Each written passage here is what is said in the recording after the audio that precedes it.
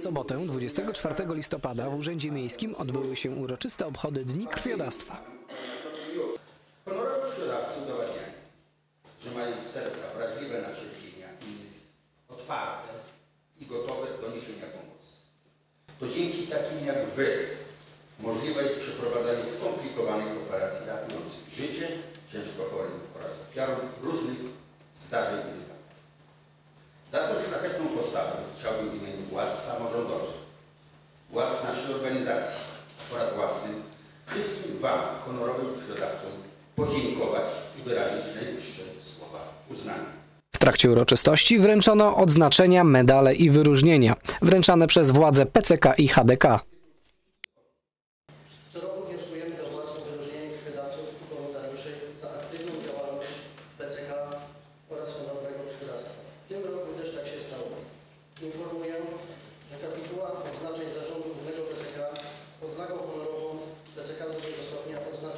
Спасибо.